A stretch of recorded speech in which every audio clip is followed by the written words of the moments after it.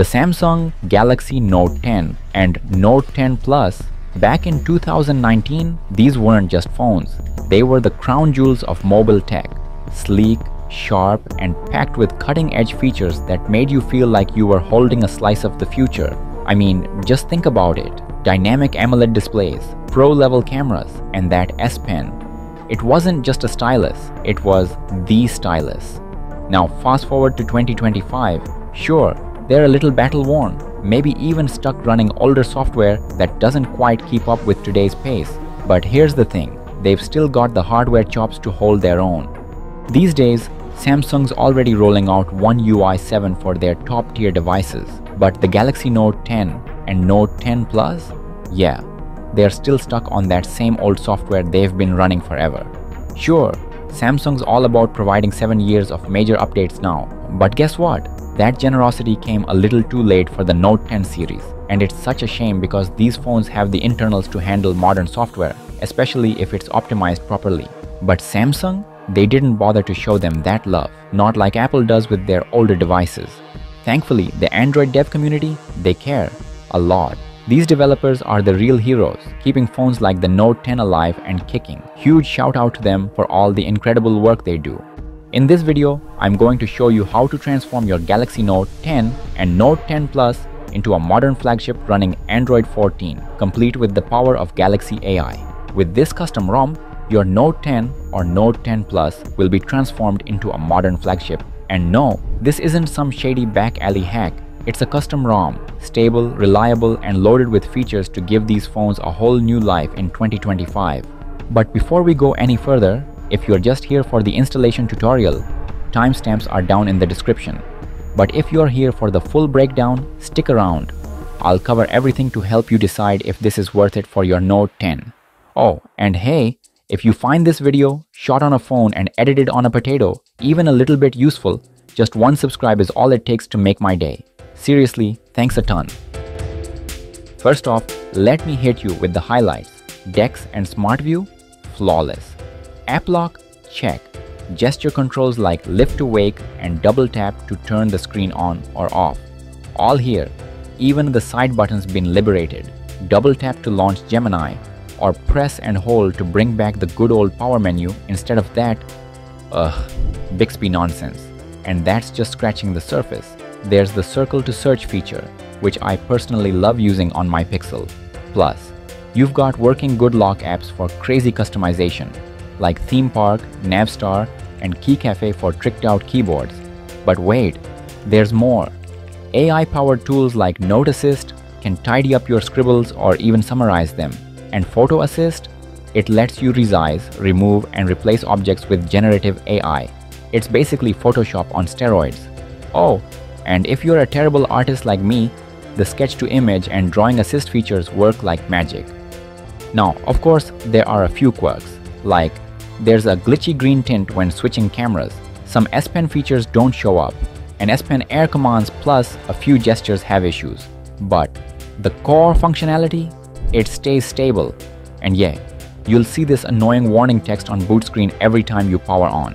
As for banking apps, some work fine, others, not so much. Gaming, it's almost up to par. Battery life, steady, no major upgrades, but also no issues. This ROM even lets you take screenshots in restricted apps and multitask with both windows in full screen, features or hacks that aren't exactly common.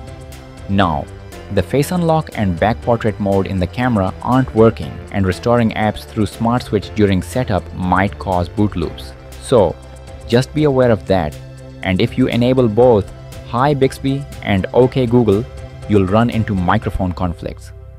Alright, I think we've covered almost everything. So now, let's dive into the installation process. But before we begin, keep in mind, this method will only work on the Exynos models. And heads up, this will erase everything on your device. So make sure to back up your data. Also, remove any Google or Samsung accounts you've got linked. Now, for this to work, you'll need to be on the latest available stock firmware. Android 12 with One UI 4 and the August 2023 security patch.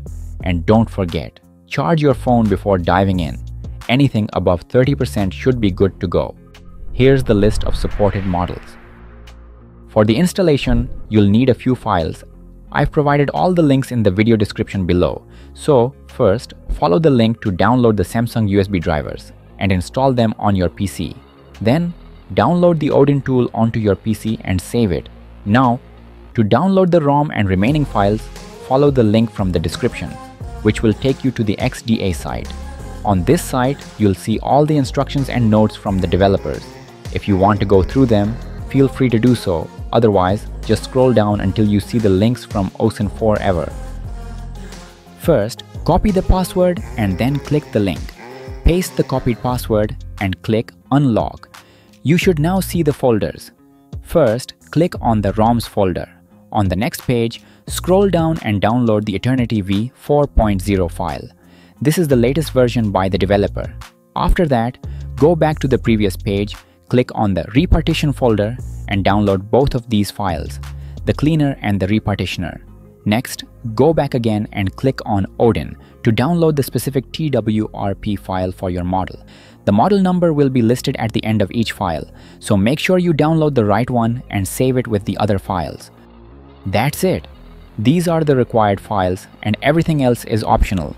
If you want some extra tweaks, just download the zipped file from the extras folder and flash it at the end of the process. Now, let's get back to it. Once these files are downloaded, Turn your Wi-Fi on and head over to Settings. Tap on Software Updates and check for any available updates. If there are updates, go ahead and install them. Next, go to About Phone in the Settings menu, tap on Software Information, and then tap the build number 7 times. This will unlock the developer settings for you. Once that's done, head back to Settings and find Developer Settings. Tap on it and enable OEM unlocking. Great. Now, turn off your device completely. Grab your data cable and laptop. Connect the cable to your phone, then press and hold the volume up and volume down buttons simultaneously. Within a few seconds, this will bring up the bootloader screen. Here, you'll unlock the bootloader, so press and hold the volume up key for a few seconds until the next screen appears.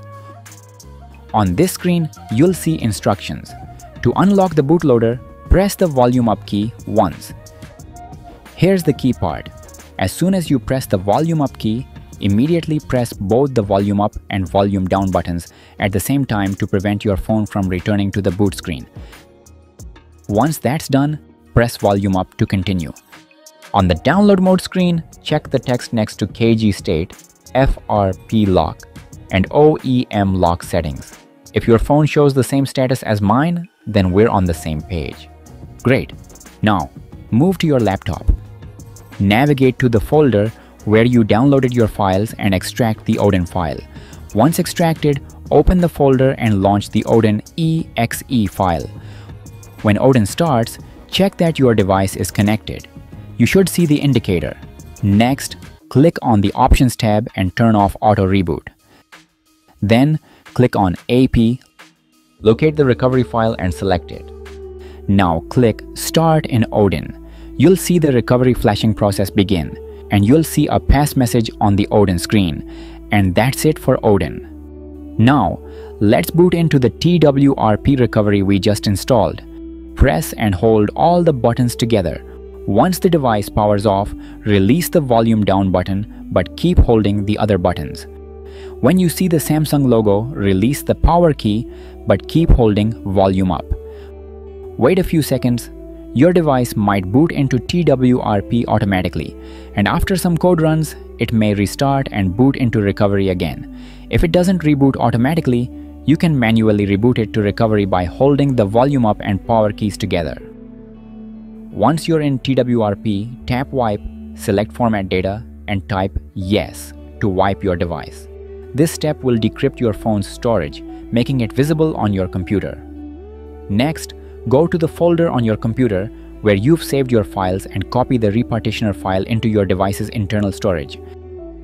In TWRP, tap Install. Locate the file you just copied and swipe right to flash it. This process might take a few minutes. Once done, your device will automatically reboot into recovery mode. With this, the storage will be encrypted again. So once more, tap on Wipe, select Format Data, and type Yes to wipe the device. Then go back, Choose Reboot and select Recovery. When your device reboots into recovery, go back to your files folder on your computer and copy the cleaner file into your phone's internal storage. Flash it the same way as before. Tap Install, locate the file you just copied, and swipe right to flash it. Once it's done, your device will automatically reboot back into recovery mode.